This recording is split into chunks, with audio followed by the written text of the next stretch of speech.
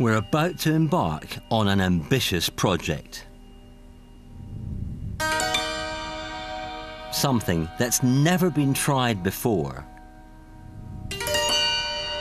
It will show us a hidden world. I'm standing in the middle of something that you would never normally see. It's taken six months from planning to this. A new home for one million of nature's most extraordinary creatures. Ants. They fascinate us. They build complex, organized societies. And we've always drawn parallels between their world and ours. It's basically an ant production line. So what can we learn from ants? One ant in two million, we found her. Nice. Fantastic. To find out, we've brought a working colony of leafcutter ants from the tropics of Central America. We've recreated their nest so that we can see inside. And for one month, we're going to capture every aspect of their lives. We'll track them, I mean, this is going to be great, though, because this is going to tell us what these soldiers are doing in the ground. we'll listen to them. Oh, that little chirp. Yeah. and get right up close to them. Ah, one's come down the front. we'll go beyond our own ant metropolis to meet some of the most impressive ants on the planet. It's not just a group of ants holding on to each other, it's a survival raft. It is. It's it's a force to be reckoned with. And discover the surprising ways in which ants are helping us solve global problems.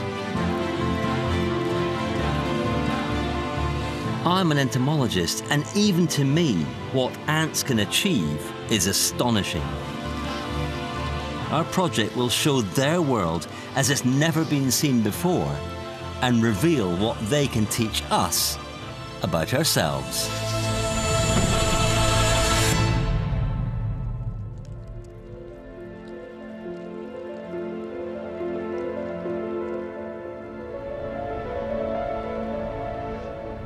Glasgow, not the natural home for leafcutter ants.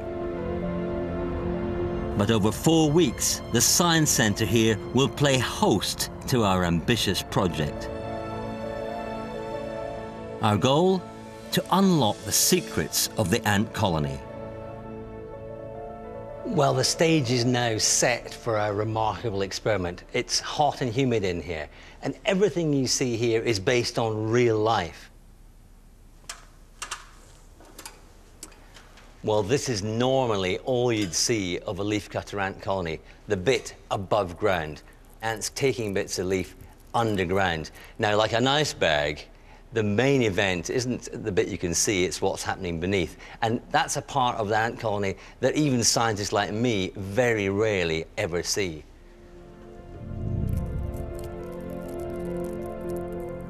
In the wild, the leafcutters dig huge underground nests. We've used their natural design to inspire our own creation. Down below here, underground, we've tried to recreate what an ant colony would look like. These boxes represent chambers in the soil, and the walkways are tunnels in the soil by which the ants can access all parts of the colony.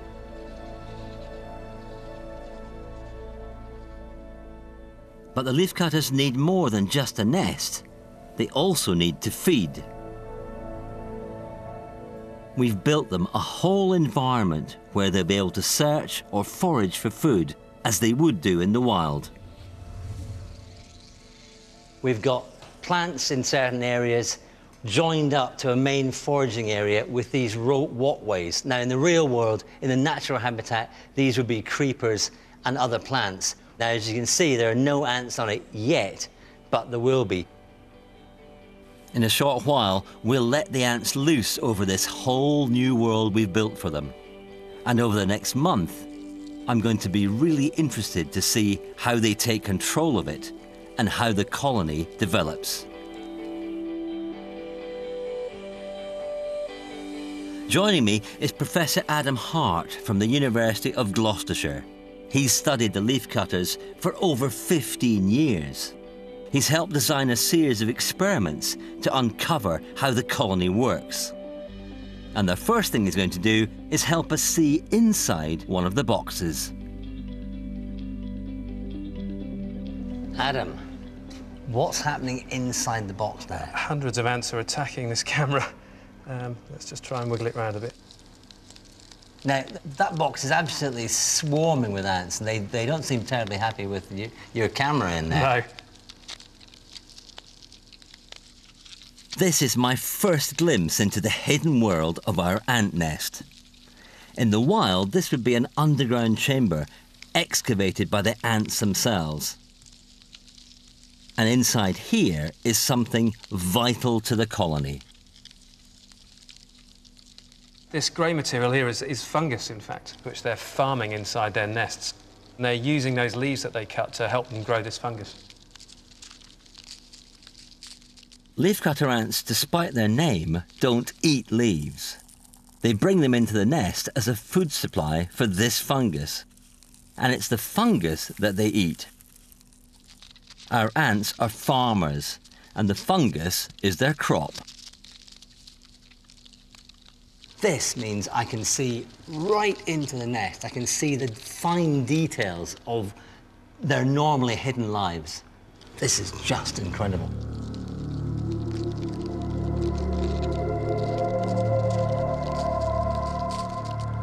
In among the fungus, the white translucent shapes you can see are the brood. That's the young of the colony, the eggs, larvae, and pupae. Here we can see the adults attacking the camera, whilst in the background, the brood is whisked away to safety.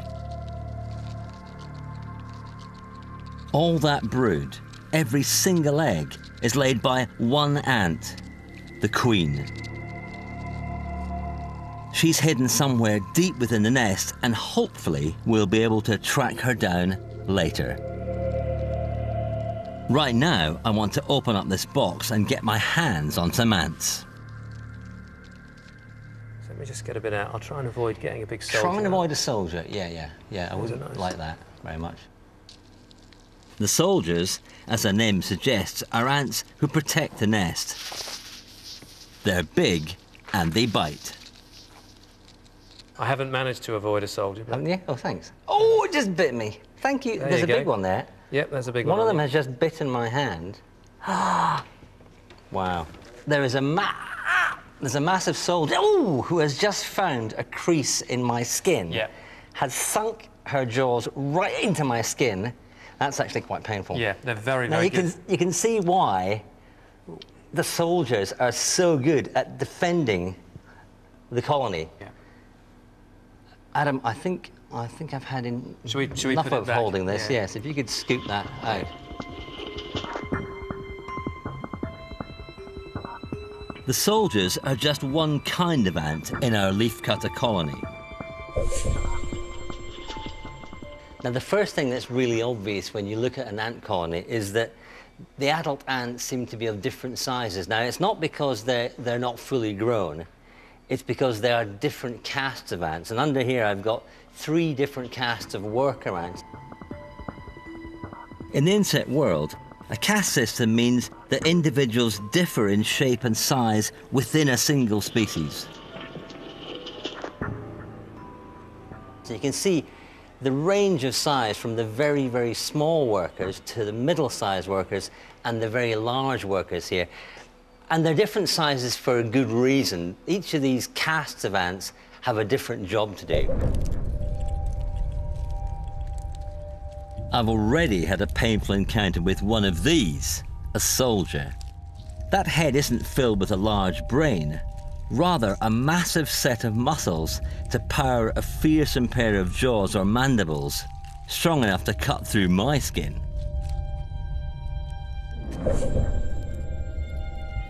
Going down the size scale, this smaller ant is called a media worker. These are the ants that collect and bring leaves back to the nest. Its serrated jaws are just the right shape for cutting into tough plant material. At the very bottom of the scale are the minima, the most numerous ants of all.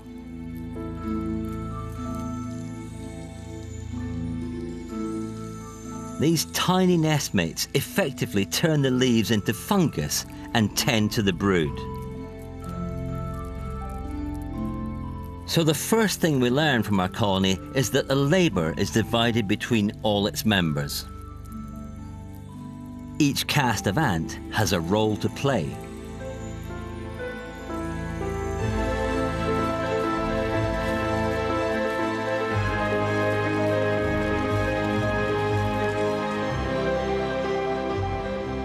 To allow us to investigate how all these different castes organise themselves and work together, we needed a supply of ants on an epic scale. Not just a handful bred in a laboratory, but a thriving, working colony from the wild. And Adam was given the job of tracking one down.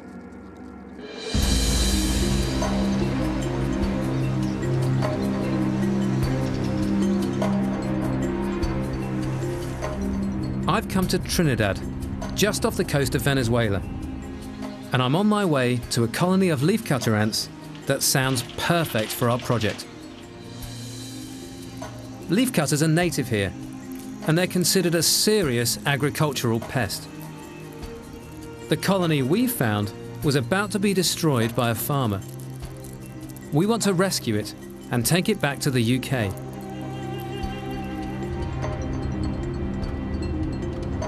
But digging up a nest of this scale won't be an easy task. They're huge. There's tens of thousands of very aggressive soldiers that will come out and bite you. Um, but we're going to have to do it almost surgically when we begin because we really need to make sure that we don't kill that queen. The queen is the absolute critical thing of this colony. We can get away with not bringing all the ants back, but if we don't have the queen intact, then we're stuck.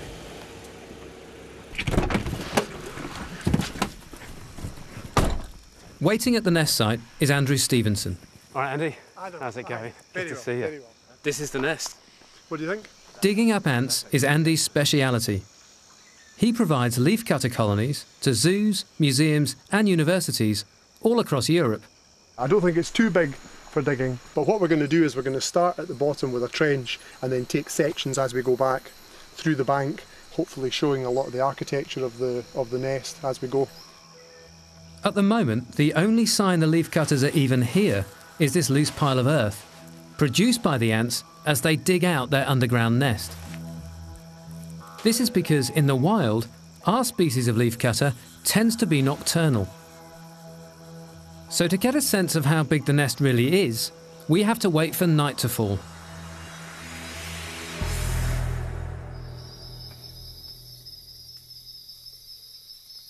So here are leafcutters on the trail, and you can really get a feel for their destructive power. This is a fruit tree, and the leaves are just pouring down out of the tree. All of these fragments have been cut up there in the canopy, and there are hundreds of ants passing every minute, just conveying like a conveyor belt of leaves from the top of the tree all the way to the colony, which is about 100 metres away up a hill. It's easy to see why farmers are no friends of leafcutters. From the huge numbers of ants in the soil here, we reckon this colony is at least a million strong. So it's certainly on the scale that we need for the project. And so many ants means a large subterranean nest. So to get a sense of how big a job we'll face on the dig tomorrow, Adam over here, we've got one here. Andy and I are placing lights at each nest entrance we find. This should show us roughly how big the nest is beneath our feet. What we've done is marked out what's turned out to be more or less a circle of lights. It seems to show that most of the activity in this colony is focused on the bank here, where we're going to start doing our sectioning in the morning. It's good news because it means that once we get stuck into that central part of the bank, right in the middle of the lights, we should start hitting fungus chambers quite quickly. And with any luck, fingers crossed, we might even get the queen.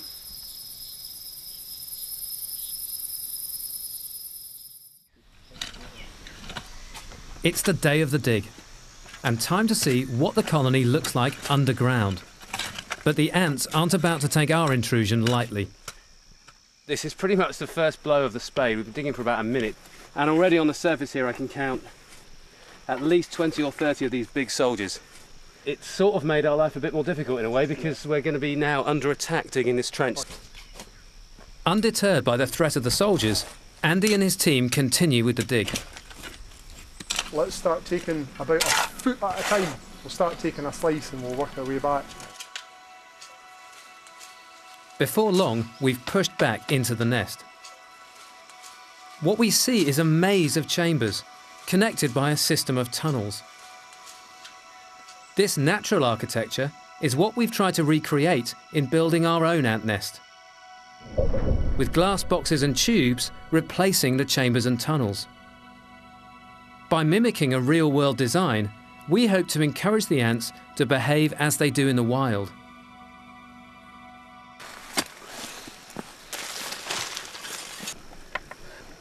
And it's not just the ants we need to rescue from this nest.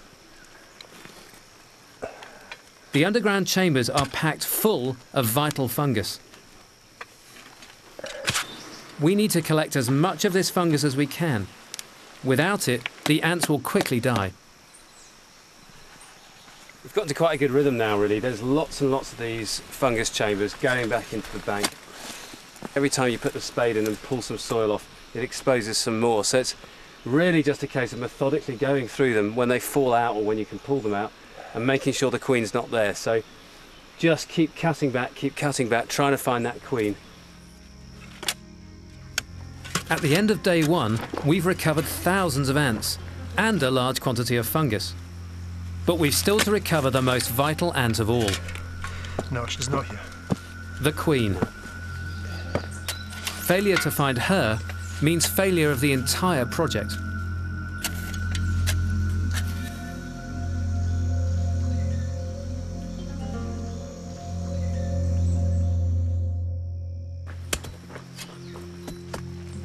Day two, and the hunt for the queen continues. We're searching for something quite distinctive. The queen is huge compared to the other ants, and she'll be covered in smaller ants who tend her. There's something really smart here. Oh yeah, Okay. yeah, yeah. This could be our needle in a haystack. This looks very promising. So this could be the queen in the middle. I think we're in here. Yes, There she is. Oh, is, We've the queen. her. Excellent. One ant in two Nice. million, we found her. Through tons of earth, we've managed to find the most important ant of all. It's a great relief to the whole team, and it means our project can go ahead. So this is what we've been seeking in all our mining. This is the the queen of the colony, and I'm going to very carefully pick her up. She's surrounded by attendant workers who are biting me now. Ow! But she's in there. That's the egg-laying machine that's at the heart of this colony, and there she is, ready to go on her. We're going to stick her onto a really nice piece of fresh fungus. Very carefully, very gingerly, just plonk her on the top there, and that's That's us. that's us done. Done. Good job. The race against time begins now. We need to get the ants from here to the UK as quickly as possible.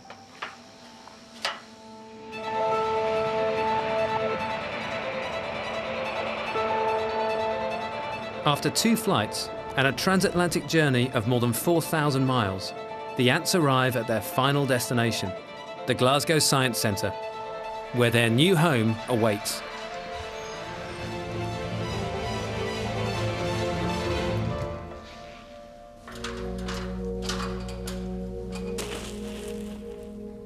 We put the ants and some fresh soil onto the top of the nest. This is our ground level. From here, they make their way down into the nest boxes, like the chambers we saw in the wild. And it's with some relief that we come across an old friend, the Queen. Excellent. With the survival of the Queen confirmed, Yep, she's in. Okay. and the ants exploring their new nest, the signs are good that our colony has survived the journey. Now we're hoping that they'll take over and complete the building of their new world.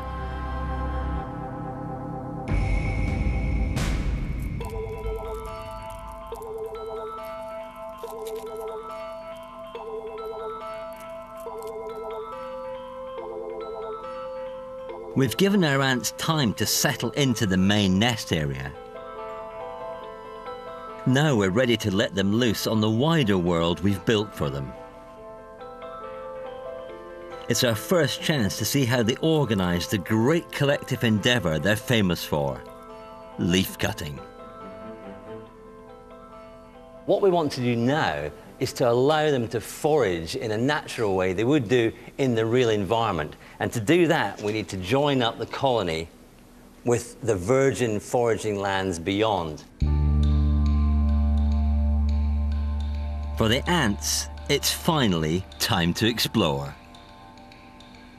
Well, we've only just put the bridge in, and already we've got workers swarming up as far as here. So I don't think it'll take very long for them to find the other end of this bridge. Tentatively, the ants start to make their way down the bridge, although it's not exactly a massive trail yet.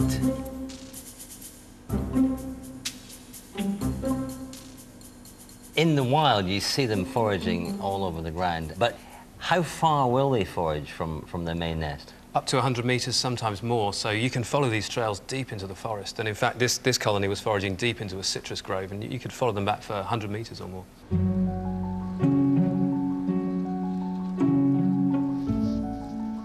Our time-lapse cameras reveal that the trickle quickly becomes a flood.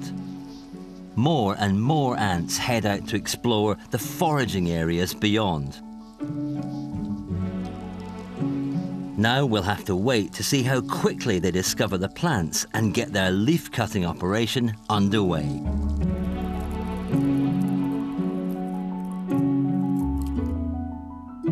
But there's one caste of ant we'll hardly ever see out here, and that's the soldiers. Unless they're responding to a threat, they tend to stay hidden deep within the nest. But we won't get a full picture of how our colony works unless we can discover what these mysterious ants are doing. So to find out, we've turned to technology. We're going to use radio tracking devices to follow individual soldiers 24 hours a day. Joining us to help is Claire Asher from the Zoological Society of London. So what we're going to do is we're going to glue some radio frequency tags onto their back. And Claire here is quite an expert at this. I'm keeping well out of it because I get glued up myself. So I just pop a little blob of glue Yeah. on her back. Now, how heavy are these tags? They, they hardly weigh anything at all, and to a, So for a to an ant like this, they, they Yeah. won't even really notice it. There we go. A little it's Yeah. fiddly work. It is. Just need to And that should dry in Yeah. a Oh, fairly that's short nice. time. very quickly, yeah. I should point out that, that what we're doing isn't hurting the soldier ants at all. How, how long would they survive in the wild anyway? These sorts of ants would only live a couple of months often. They're not long lived.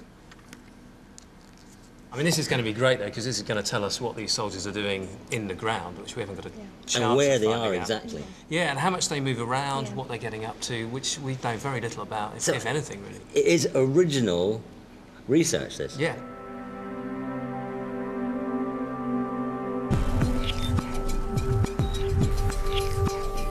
Every tagged ant will emit a unique radio signal.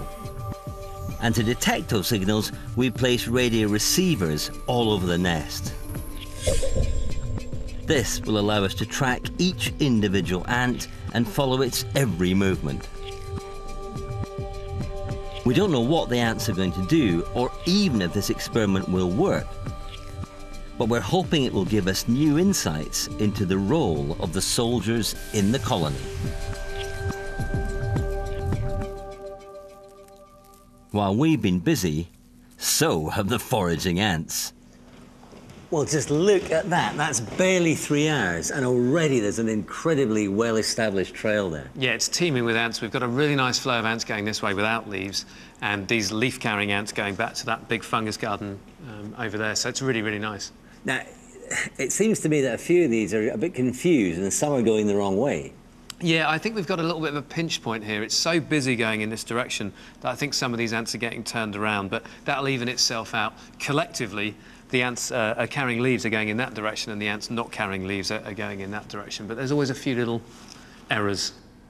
I feel I want to help the ones who are heading the wrong way and just go, come on, just take you off and put you down there. Bit of a head start.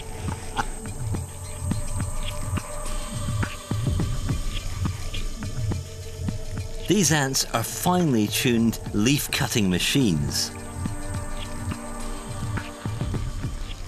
A large colony can consume the same weight of vegetation per day as a cow. And they're making short work of the plants we're giving them.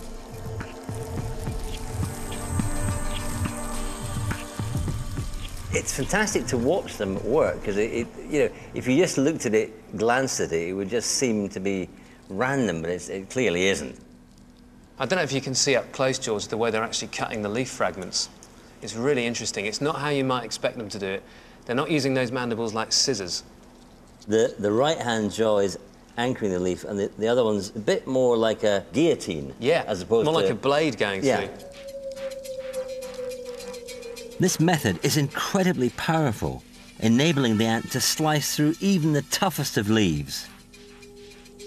Here we can see that same blade-like technique being used on a very thick banana leaf they're anchoring themselves with their, their back feet, their back legs. So when they go around with this guillotine, they're describing an arc of a circle, and the bigger the ant, the bigger the arc.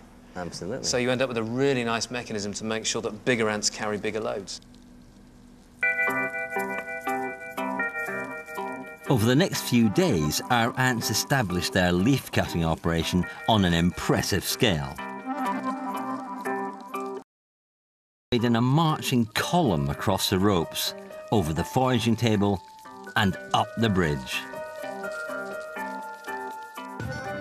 When they reach the top, the ants head down into the nest, making their way through the tubes towards the fungus gardens.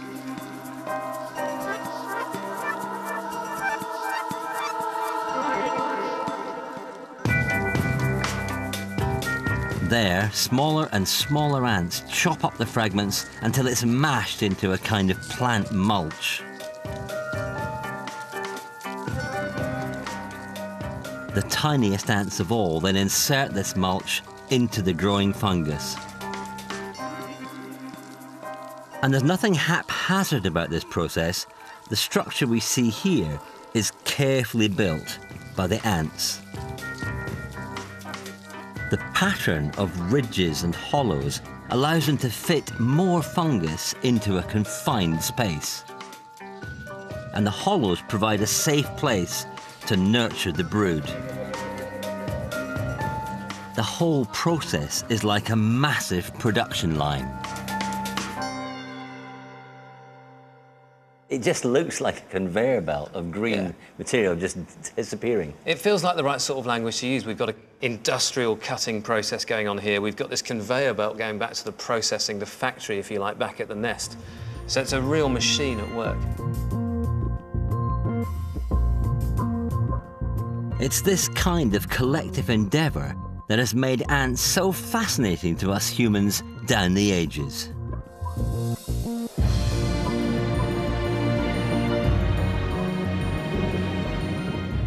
During the Industrial Revolution, when factory life was transforming human society, the parallels were striking.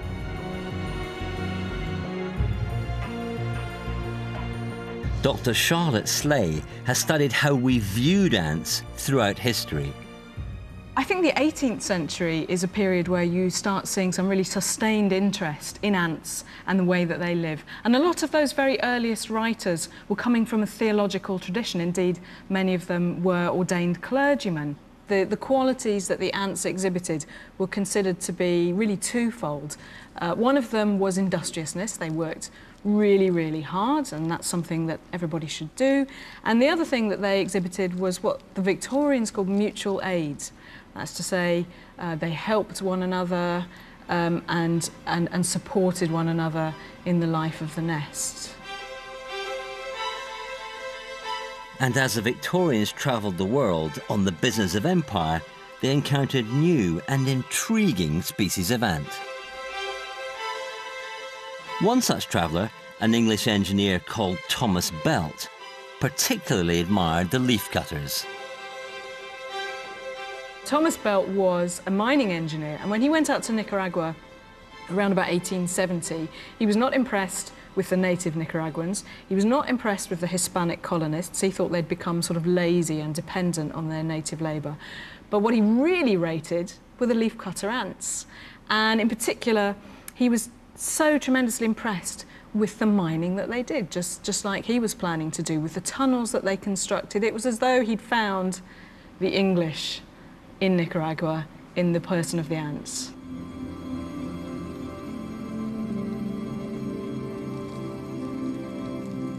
Watching our leafcutters at work, it's easy to see why Thomas Belt was so impressed.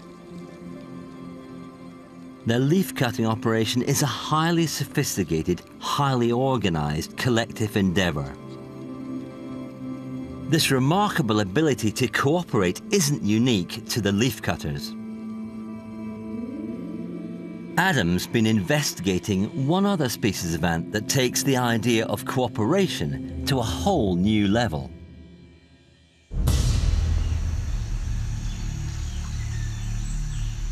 Floating on the Amazon River is a wonder of the animal world. It may look like a tangle of weeds, but up close it's a seething mass of ants.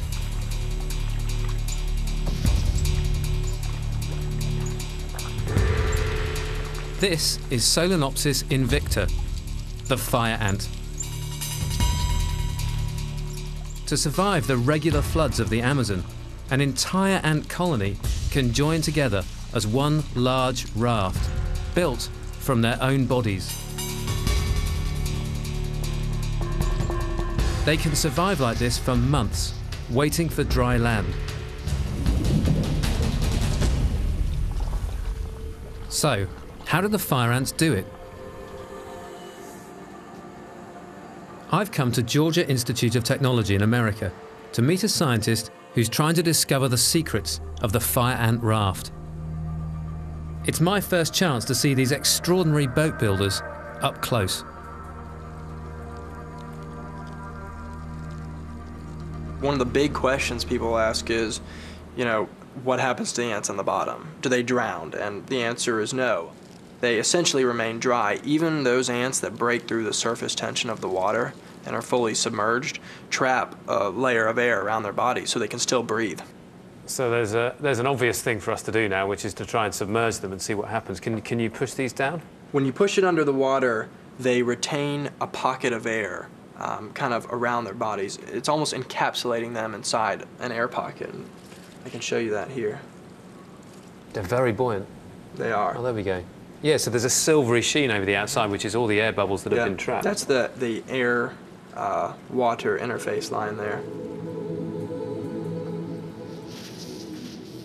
Each ant is naturally water repellent. Droplets simply slide off them. And when thousands of ants combine, the result is a raft that is virtually unsinkable. When you do push them under the water, they pull themselves even tighter together so that when they're subjected to the high pressures underneath the water, it still keeps the water out.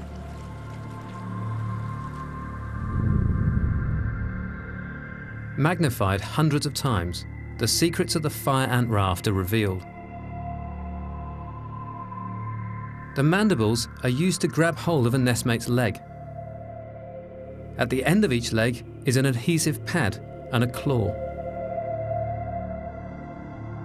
This, like a sticky grappling hook, allows them to form further flexible connections with any nearby nestmate. The ants' own bodies act as a set of interlocking units, so the entire colony can turn itself into a single structure.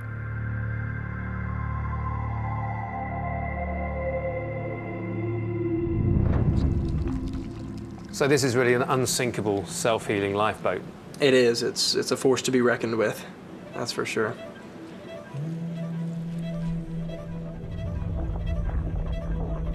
This remarkable ability allows the fire ants to survive the worst floods of the Amazon.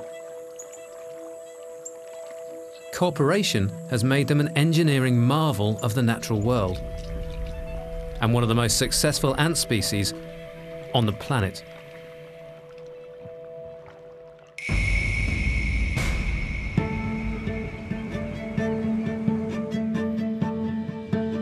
It's now been 10 days since our ants were released from the nest, and I've come back to see how far the colony has come.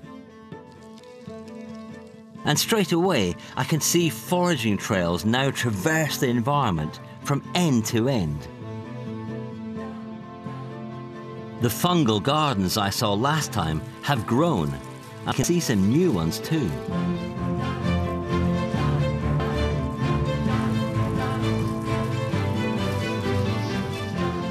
Since they arrived in their new home, the ants have made real progress towards getting their society up and running again. One of the best examples of this is at the very bottom of the nest.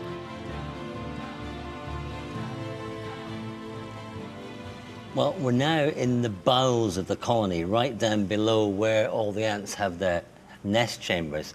And the reason we're down here is that there's a lot happening. The, the ants have a waste dump down here. All that leaf processing produces a lot of waste that needs to be dealt with. And the ants cope with the trash burden in a similar way to us. This is an ant landfill. Now, what we've got here is a waste dump that they've made actually in the trough that surrounds the whole colony. And that's a water-filled trough which is designed to keep the ants in. But what's happened is the, the ants have built a, a, a waste dump, and because it's wet and the bacteria are building up in here, the smell of decaying ants and fungus is absolutely, it's overpowering. It's disgusting. Normally, the dump is placed in chambers at the bottom of the colony where workers turn over the waste as a gardener does their flower beds.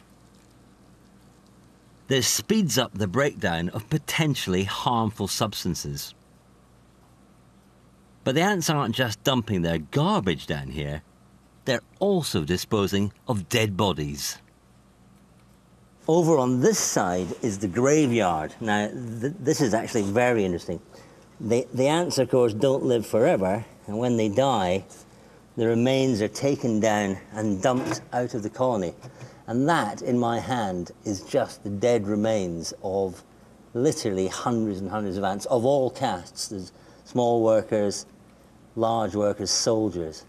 And so when the ants have no longer any function, and when they die, they're simply taken out and dumped.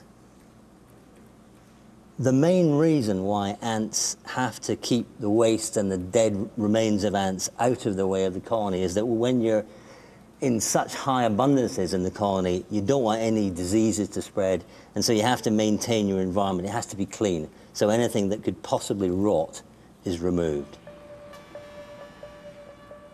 Seeing the dump and the graveyard really brings it home to me just how sophisticated the ant colony is.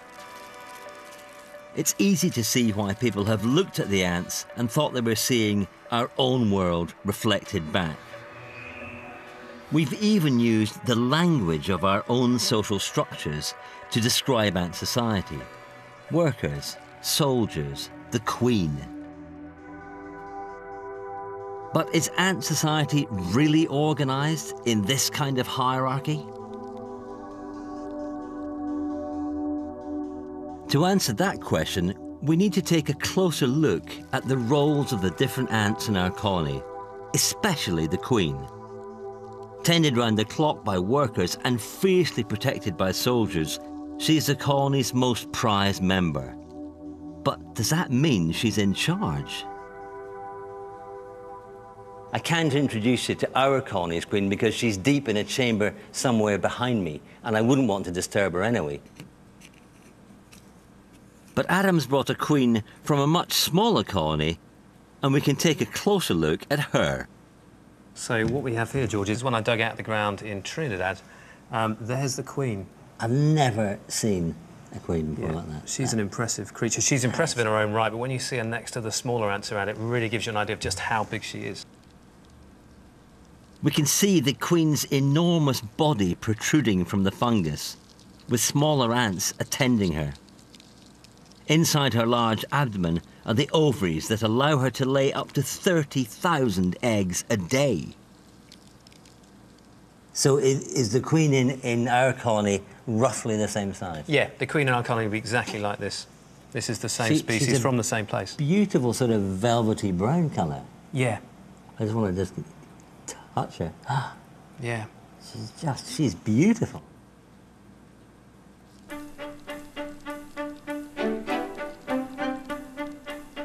Our colony will only ever have one queen in residence. But once a year, it will produce new queens who will leave the nest to start new colonies. This is also the only time the colony will produce males, and these males have one sole purpose to mate. Leafcutters have never been observed mating in the wild, but we can see how much of a large scale operation this is with a British species, the wood ant. In late summer, the colony produces hundreds of new queens and males. These ants have wings and they fly from the nest en masse to find a mate. This event is called the nuptial flight. These winged individuals are the females, the new queens, the males that they'll mate oh, yeah. with. And it's a very effective way of dispersing, not just mating with individuals from another colony, but also spreading out and, and spreading the colony far and wide.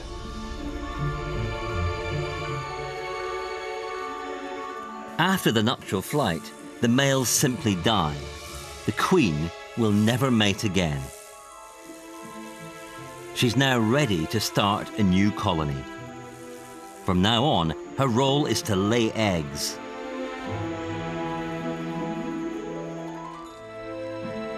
It's a staggering thought that all the ants in our colony have the same mother. And as males are only produced for the brief mating period, all the ants we see here are female. And they're all sisters.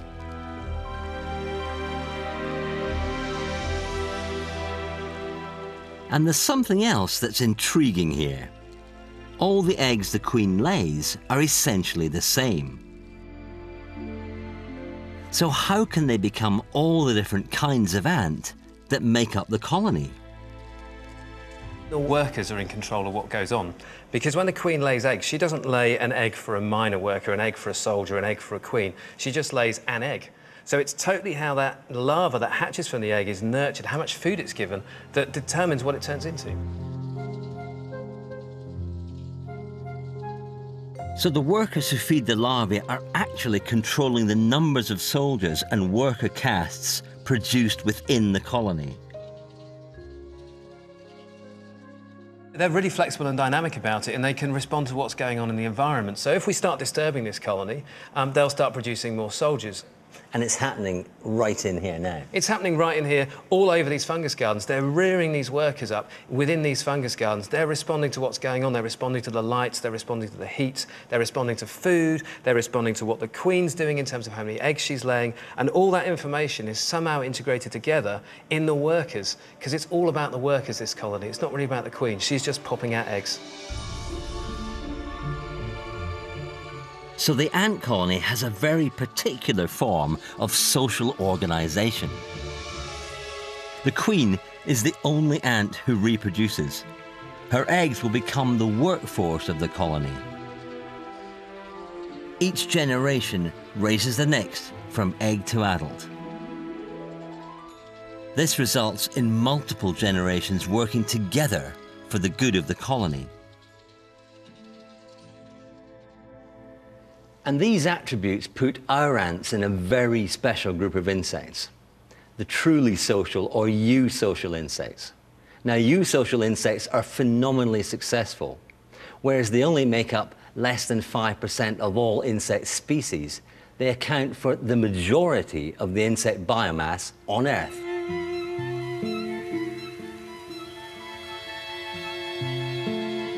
Apart from ants, the major groups of eusocial insects are termites, wasps, and bees. Together, these insects outnumber all the others on Earth combined. Being eusocial is one of the most important evolutionary developments in the animal kingdom.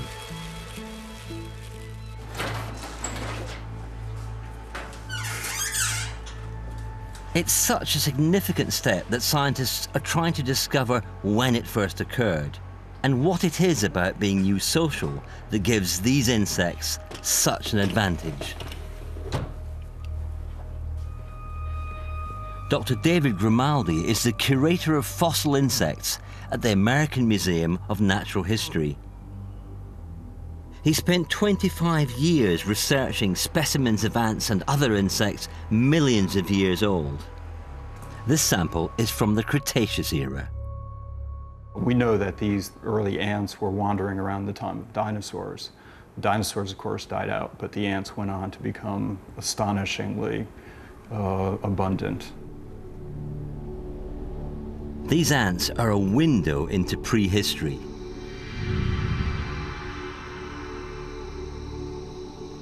The sap of ancient trees trapped them as they foraged and then hardened into amber, preserving them for millions of years.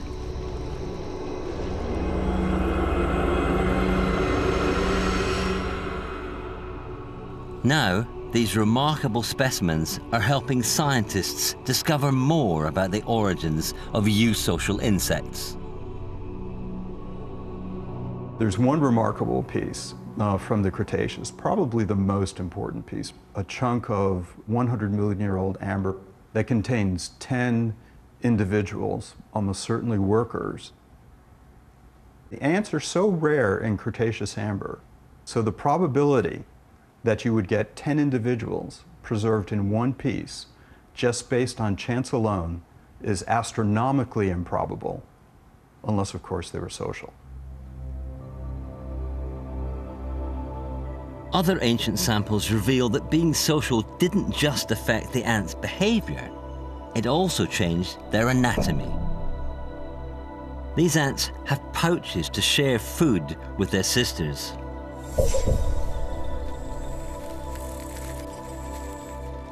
This feature of ant anatomy is most clearly seen today in the Australian honeypot ant. These ants are so full of food they can hardly move. They're like living larders, feeding their sisters. When you have many, many individuals um, that specialize in foraging and protection and nursing of the larvae and in defense of the nest, you can be much, much more effective. So uh, being social uh, is, a, is a tremendous adaptation, perhaps one of the most effective adapta adaptations in the animal kingdom because we can see that when ants become highly, highly social, they become a very dominant life form.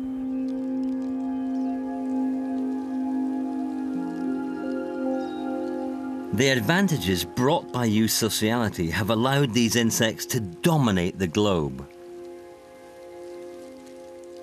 Ants have been called ecosystem engineers as they can change the environment around them. Nutrients released from their underground nests fertilize the surrounding soil, which in turn promotes the growth of plant life on the surface. With more plants come more animals, and studies have shown that an ant colony can actually increase the diversity of animal life around it.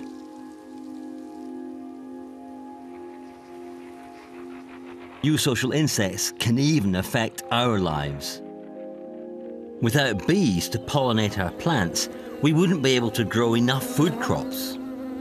You might say it's eusociality that feeds our world.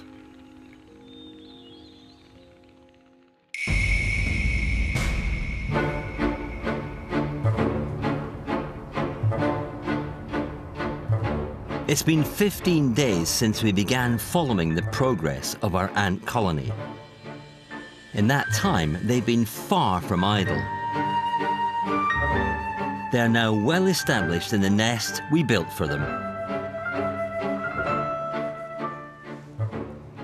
Well, the most amazing change since the colony has really become established is the incredible growth of the fungus gardens. You can see the green leaf material where the fungus hasn't quite grown yet. So it's, it's just becoming white from the base up. So you can see at the very outside edge, you've got all the chewed green material, the, the food for, for the fungus. And then the fungus just moves up. It, it's fragile as anything. It's just, it, it's just a miracle of microengineering this. And it, it's just one of the most beautiful things I've ever seen. To see how much progress the ants have made regrowing their fungal gardens, we're going to open up a nest box again. There we go. Look at that. There we go. Ooh. They're not happy about this, but No. I can really see the structure of the of the fungus garden. They are really this, that whole thing's hollow, and there's a taxosa in there. I mean, this is their their very reason for being, isn't it? That is is the major resource in there. It's not like a mushroom or No, a toast, it's- but it's, it's- very look at fragile. that. It's more like a sponge. There's a huge surface area in here. So there's lots of little chambers and cavities and places for them to feed. That is It's a- unbelievable. It's a really beautiful structure. really soft. Yeah. It's these white tufts produced by the fungus that feed the colony. They contain just the right balance of nutrients to support the developing brood.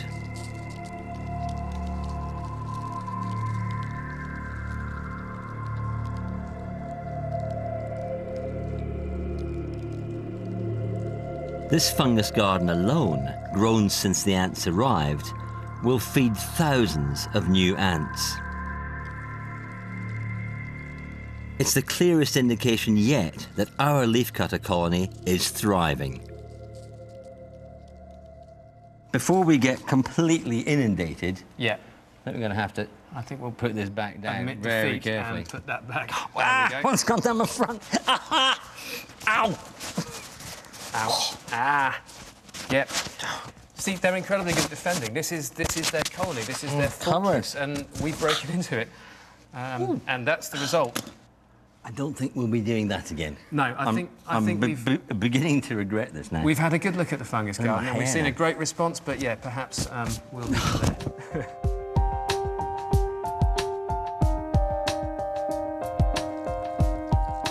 Away from the nest, there are more signs of progress. The ants are constantly monitoring their long foraging trails. If any blockages occur, workers swiftly clear them.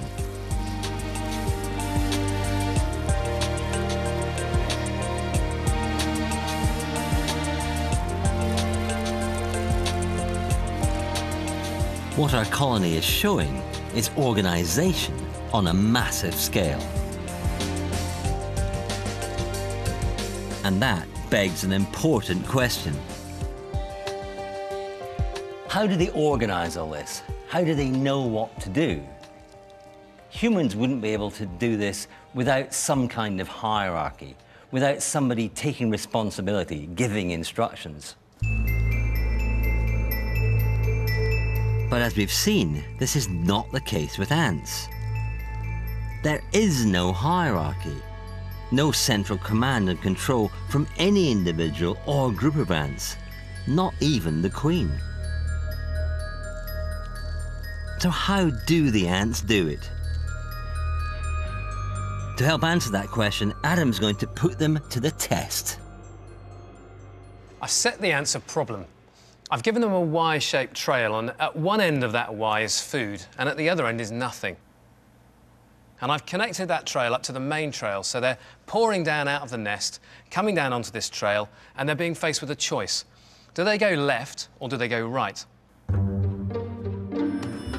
Our ants have a clear 50-50 choice between right and left. But after just 20 minutes, virtually all of them are heading down the path that leads to the food. So how do they know where to go? At this distance, they can't see the food. Their eyesight isn't good enough.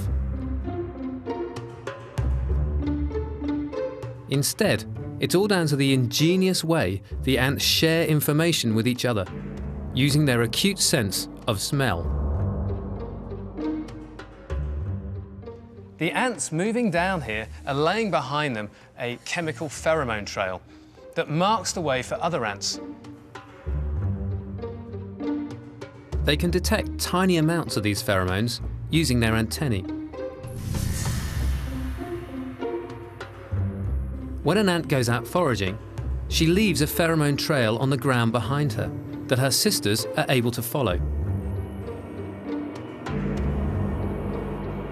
If she finds food, she will then lay down even more pheromone on her way back to the nest, making the original trail even stronger. If she doesn't find food, she won't lay any more pheromone, and the trail simply evaporates away. The stronger the pheromone trail, the more likely an ant is to follow it, and in turn add her own pheromone to the route.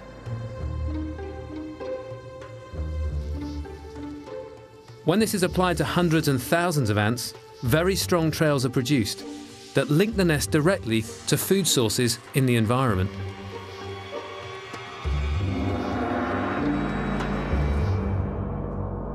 And what that means is that the branch that's got food at the end of it is much more concentrated in terms of pheromone than the branch that doesn't. So that when ants come to that fork and they have to make a decision, they follow the trailhead that's got the most amount of pheromone in. So they're much more likely to go right than they are to go left. And that means these ants can organise themselves. The queen's not in the colony going turn right, turn left, you know, take the third exit. They follow the trail pheromone to the food. So each individual ant is dealing with simple signals, simple rules. But collectively, this system achieves complex results. It enables the colony to find new food sources, exploit them efficiently, and react swiftly when they're depleted. This is what underpins the entire leaf cutting operation.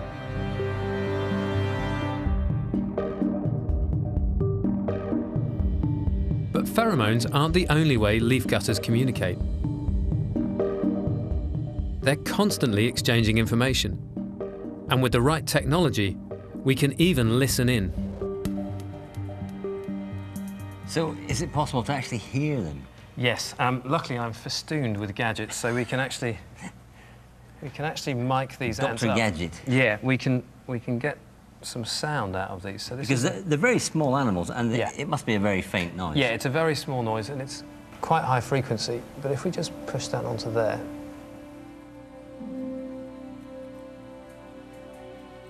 To human ears, the ants' world seems silent, but amplified by the microphones, the leaf comes alive with noise. And there's one particular sound we're listening for. In amongst the sounds of leaves being cut and ant footsteps is a high-pitched chirp. This is stridulation, a sound the ants make by rubbing two sections of their abdomen together. Oh, that little chirp. yeah, There. yeah. So they're making this this sound, but it's part of a a group of sounds that they make. These stridulation sounds. That little chirping noise is a recruitment signal. The more nutritious a leaf is, the more the ant makes this noise, sending a cascade of vibrations through the plant.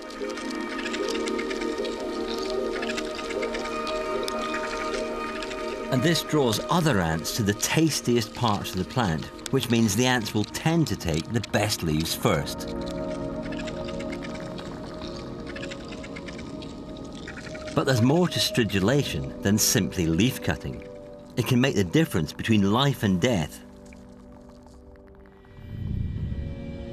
As they build their underground network of tunnels and chambers, our ants, just like human miners, face an ever-present risk. A roof collapse could bury them alive. To discover how they respond, we're going to simulate this catastrophe and time for another gadget. This is a plate microphone, so this is recording directly from what's on the surface. We're going to put an ant on the surface of this microphone and bury it with soil, just like a roof collapse in the nest. And then we listen. You Just- put an ant on, and I'll. I'll yeah, uh, I'll drop an. I'll, I'll wrangle the ant. You get some earth on there. ready? Yeah. There we go. Bit buried alive. So this is going to be the sound of ant fear. This is an ant that's been trapped underneath the soil, and it's, it's calling its nestmates in. There's a bit of hiss there, but you can hear. Yeah. And that's the noise they're making by moving that abdomen backwards and forwards, scraping very across. obvious, isn't it? Yeah. It's a very clear signal that causes a very specific behaviour. Come over here, dig me out.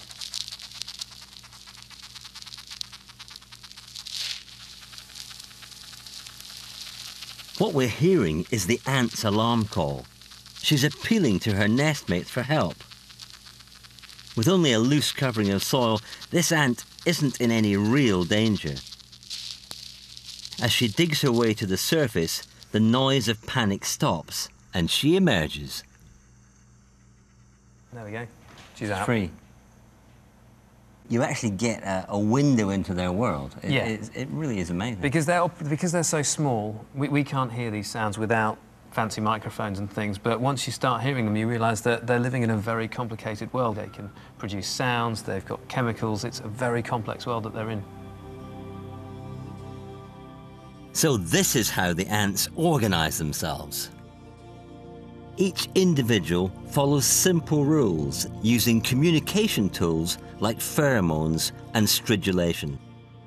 And applied to huge numbers of individuals, these simple rules allow the colony to solve complex problems.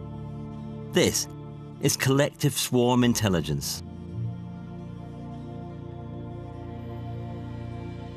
Ant species around the world use this ability to tackle problems that challenge even us humans.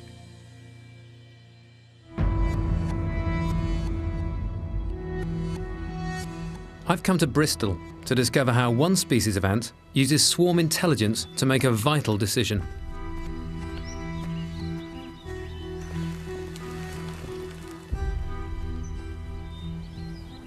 These are Temnothorax albipennis, also known as the rock ant.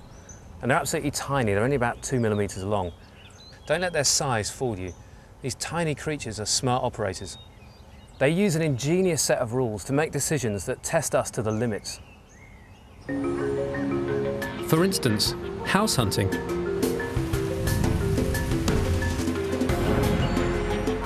We might find it stressful, but to the rock ants, it's a matter of life and death. Here at the University of Bristol's Ant Lab, Professor Nigel Franks has spent the last decade studying the behaviour of these insects. So this is a rock ant nest that you'd have set up in the lab. It's pretty similar to what you'd get in the wild.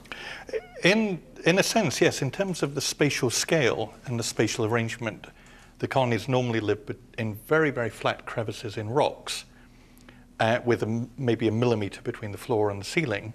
And so we can keep them in these nice, simple microscope-sized nests. As soon as they get them destroyed, particularly if they lose the roof of their nest in the wild, They can't do anything about that. They simply have to find a new nest site to live in. Okay, let's, let's do it. Yep. Removing the roof effectively destroys the nest. In the wild, this would be a perilous situation for the colony. It's time to find a new home as quickly as possible. We've given them a range of options of varying suitability.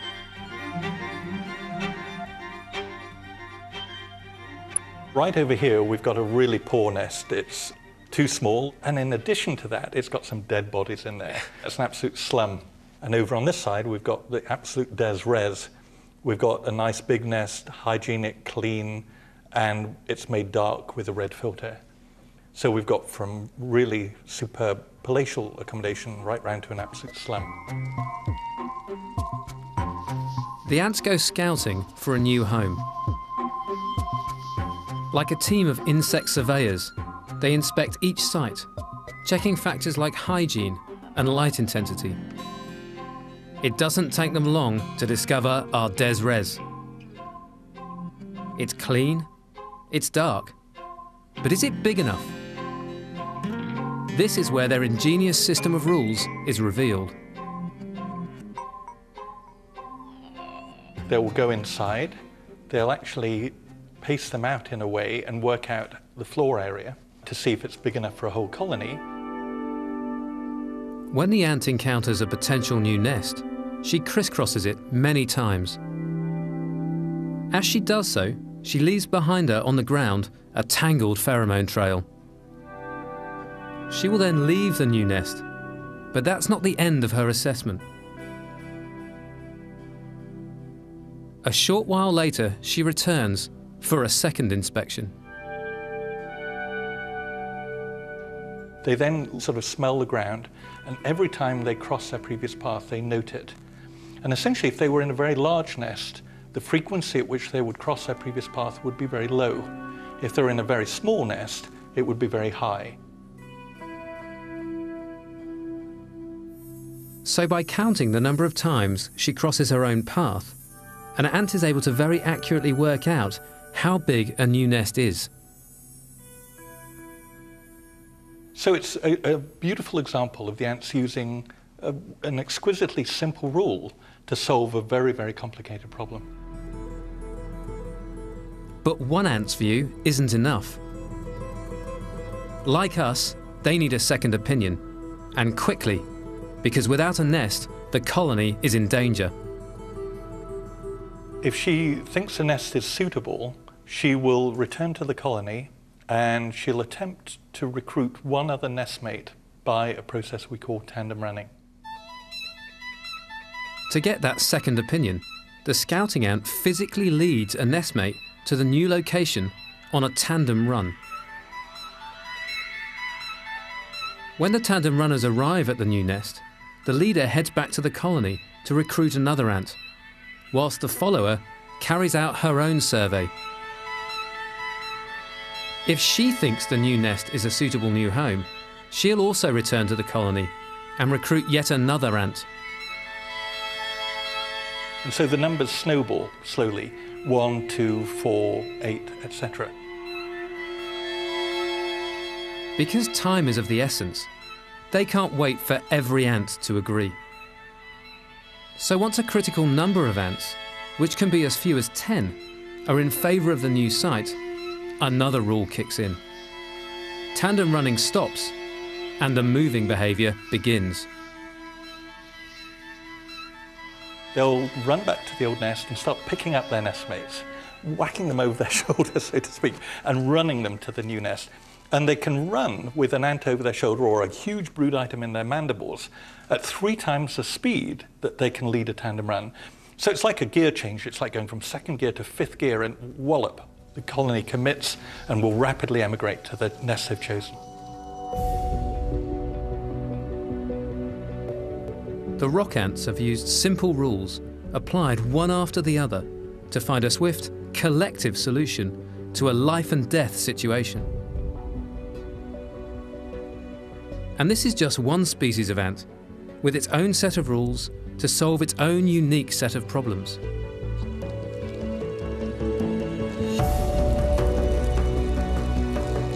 In the wild, driver ants create imposing trails, guarded by huge soldiers to ensure the safe passage of the brood from one place to another.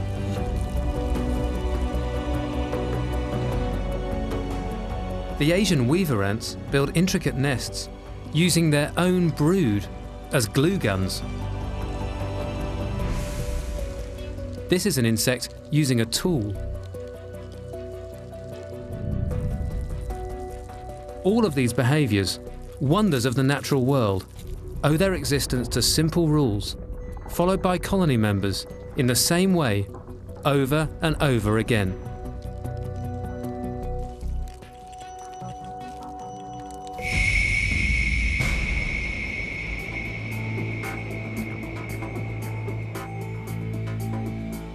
Back in our colony, we're approaching the end of our project to explore the world of the ants. But there's one caste of ant whose rules and behaviours remain more mysterious than any other the soldiers. As we've seen, they tend to remain hidden deep within the nest. But we're about to discover some of their secrets. In our most ambitious experiment, we've used radio tracking technology to follow the movements of a group of soldiers day and night over a period of 10 days.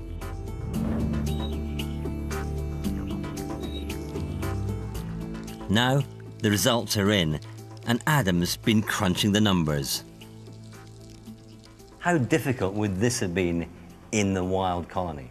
Oh, this sort of thing would be impossible because in the wild we'd be underground right now. You know, you can't use this sort of technology deep in the ground in any sort of effective way. So we, we've got no real insight in how these things happen in a natural nest. That's why this is such a nice opportunity.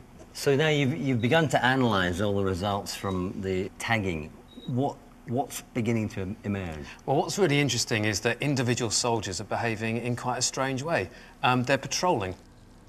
So one, for example, goes from this box to this box to this box, back again, back again, over about 20 hours. We have had others doing exactly the same sort of oscillatory behaviour between boxes. So almost as if each of the soldiers has a, has a sector of the nest that they, they patrol. Our results reveal the soldiers as a highly organised security force. Every ant we tagged has an oscillating patrolling behaviour, all of it focused around the fungus gardens. And we've discovered there's more than one type of patrol. Some soldiers move back and forth between just two nest boxes. Others have a much larger route, visiting five or more boxes over a period of days. This area here is a hotspot of activity with a number of different patrols converging on one box. Due to the extra security presence, it's our suspicion that this area is the location of the Queen.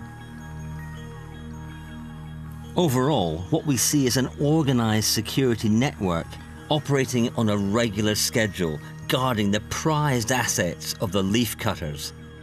The Queen, the brood, and the fungus.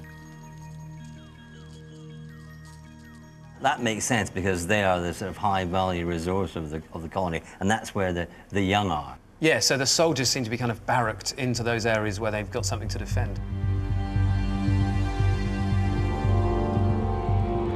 Our data indicates that the soldiers are hardwired to patrol the nest, poised and ready to repel anything that threatens the colony. To see that response, we can simulate an attack on the nest by pushing a camera down into it. To the ants, this appears to be a predator and it triggers a call to arms. Ants near the camera release a pheromone that signals alarm. This pheromone attracts more ants onto the scene. Almost instantly, there's a whole swarm attacking the camera. Once again, they're following a simple rule. defend the nest.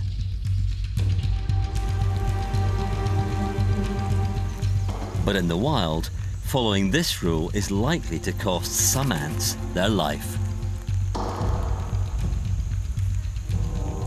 This is a praying mantis feeding on driver ants. When the colony responds to the threat, one of the first ants on the scene throws herself into the jaws of the mantis. She stops the insect taking any more of her nestmates but sacrifices her life in the process. And as more individuals arrive, the tables turn and the predator literally loses its head.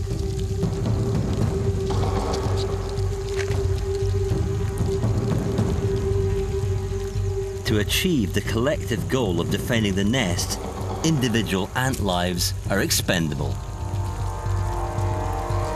And this is the darker side of the parallel that people have drawn between humans and ants.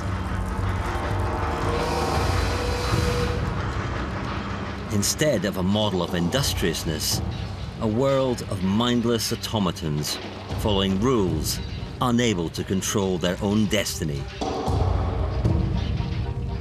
There's a moment, I think, in the 20th century where certainly all of those ideas of industriousness are gone the ant becomes a very scary thing. Ant society becomes everything that humans want to avoid. I think there are a couple of things that add to that. The experience of the First World War and the sense of soldiers being sent off anonymously to their death. Also, I think the experience of mass life in factories, you know, think about Henry Ford, think about those yeah. cars rolling off the production line. You know, that's really very much like our leafcutter ants and their production line with the leaves. There's no room for individuality. Um, it, it's pretty horrific. The ant is everything that we don't want to become. And it also finds its way into science fiction films. I mean, I remember a film called Them, yeah. where the Earth is being threatened by these giant ants. There is no word to describe them. It's a classic communist era movie, in fact. The sort of the unknowability of these ants, the sense that they're operating under some system that's swayed by propaganda that we can't even really comprehend. They're the classic commie enemies. Is there any type of gas we could use? No, we can't take a chance. It might poison the whole city. So bringing things right up to date now, there, there has been a change of emphasis. and The interest in what ants do is now altered a bit. That's right. We've become increasingly interested in them as technological systems, if you like, as natural computers. And we're interested in the way that they solve problems um, and the way in which they in particular find the most efficient way of solving problems, the most efficient ways of foraging for food, bringing it back to the nest, and so on. It's a radical thought. It suggests we could see our ant colony as a giant, powerful computer that can solve complex problems. Problems like finding sources of leaves and delivering them efficiently to the parts of the nest where they're required.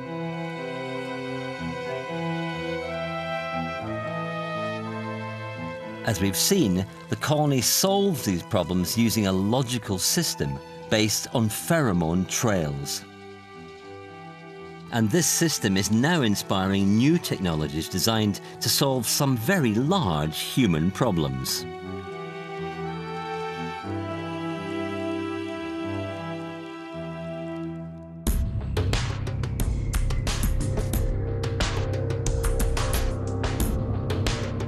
Here, in the Texan heat, a very cold industry is at work.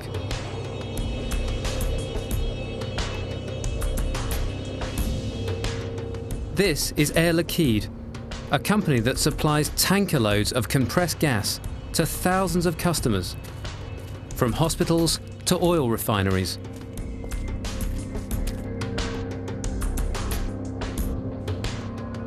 I'm here to meet Charles Harper to find out how insight from the ants is helping the business solve a fiendishly complicated problem. Here we monitor the supply of and the production of all of our gases and our liquids in the United States. We have about 10,000 customer sites to deliver to. We have 1,000 uh, uh, trucks and drivers to dispatch. So on a, any given day, we have to know who needs a delivery and where to source the liquid from. Finding the best routes to get the right truckloads to the right customers every day is a massive logistical challenge. And this challenge has a name, the travelling salesman problem.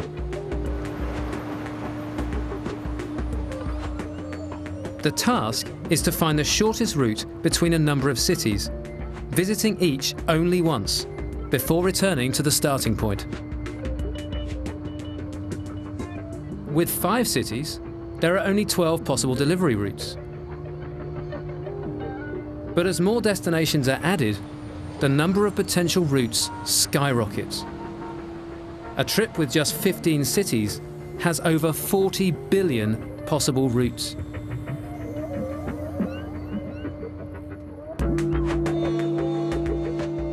Air Liquide faces a travelling salesman problem that has trillions of possible solutions. So for help, they turn to the ants. Inside this computer, there is a program based on ant behavior. It's called an ACO, or Ant Colony Optimization.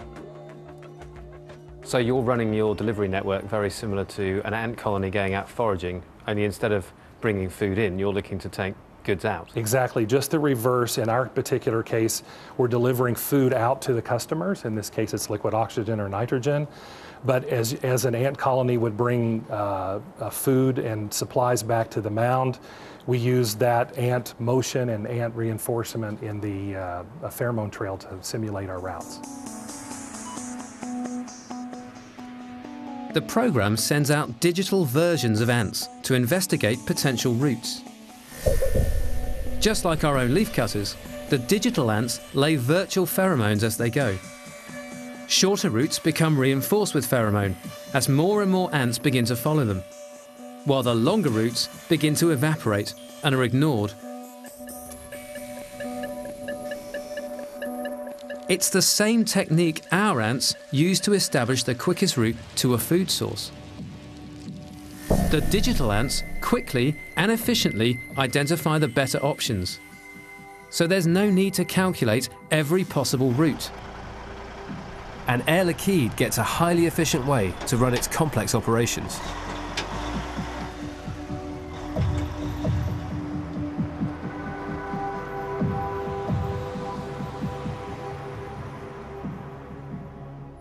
But solving complex delivery problems is just the beginning of what ant colony optimizations can do. Their ability to identify the best route from billions of options is now helping scientists reach far more ambitious destinations.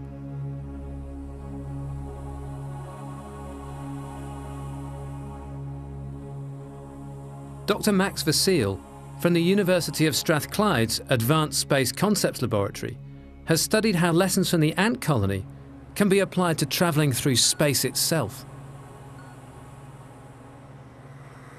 Well, one thing we um, decided to do some time ago was to try to use ants to uh, plan a trajectory from one planet to another, passing by a number of intermediate planets and exploiting their gravity to uh, change the velocity of the satellite.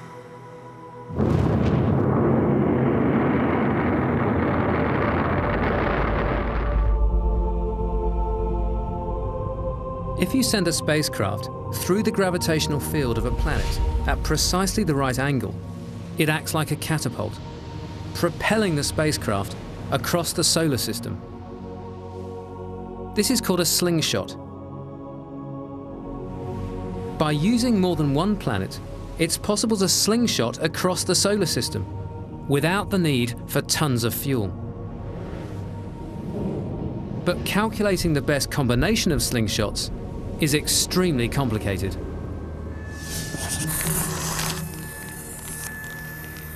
So you need to go from one point to another, but you've got lots of points in between that you need to pass to get that boost. Exactly. So what we ask the ant to do is to tell us the best possible sequence of uh, planets to reach the destination.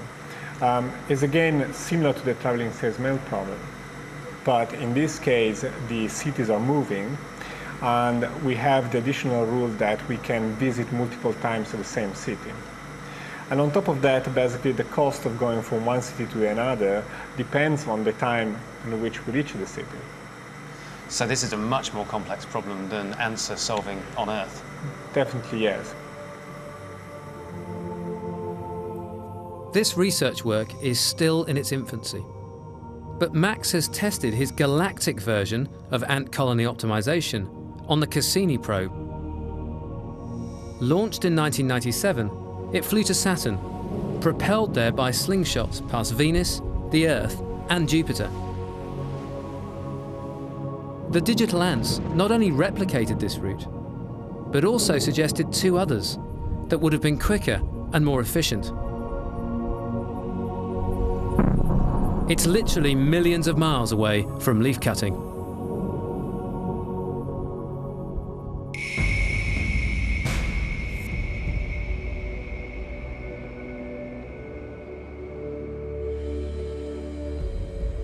We've reached the end of our project to explore the hidden world of ants.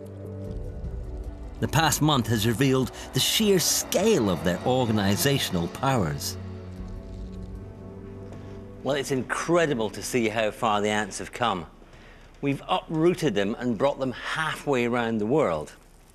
We've seen them rebuild their entire society in the space of just a few short weeks. They've now taken control of this new territory, from the outermost plants to the depths of the nest, and the colony is thriving. We hope it will continue to be the subject of scientific observation. But for me, the colony has already helped show ants in a new light. Rather than a vast number of individuals, the colony is really a superorganism functioning in a complex and sophisticated way. The different ants, like cells and organs of an animal, have different functions, but operate together as an ordered whole. Seen as a superorganism, the ant colony truly is one of the most impressive achievements in the evolution of life on our planet. And the more we come to understand it, the more we can harness the genius of the ants for our own benefit. We now have a better understanding of the parallels between ants and ourselves. But we're only just beginning to understand what they can teach us.